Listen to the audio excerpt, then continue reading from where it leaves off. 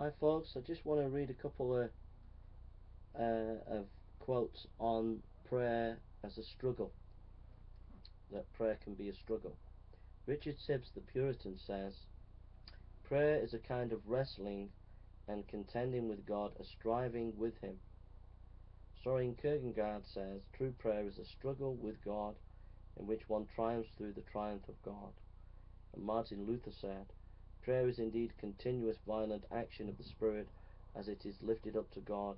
This action is comparable to that of a ship going against the stream. So if you find in prayer a struggle, some of the great saints of the past have done the same, and um, don't get discouraged.